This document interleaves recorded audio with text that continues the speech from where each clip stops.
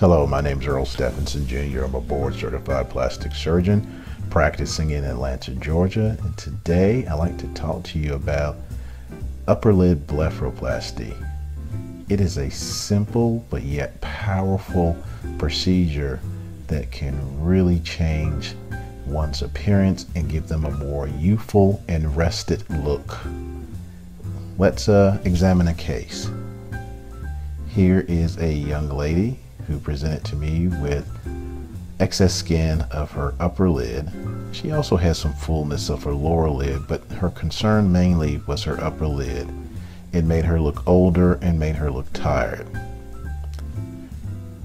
Based on that, I only recommended an upper lid blepharoplasty to remove excess skin. She really does not have any excess fat to mention. This was a procedure that was done simply here in my office with some local anesthetic, uh, some sedation, and this is her result.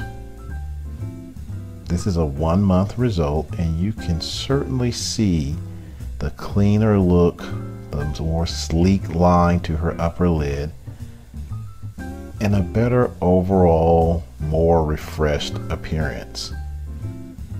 Again, this was done in our office.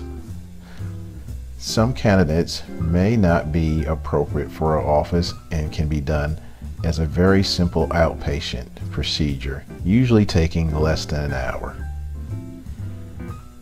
If you've always been concerned about your eyelids or your look and have really given some consideration to trying to change that, feel free to give us a call here at Signature Plastic Surgery.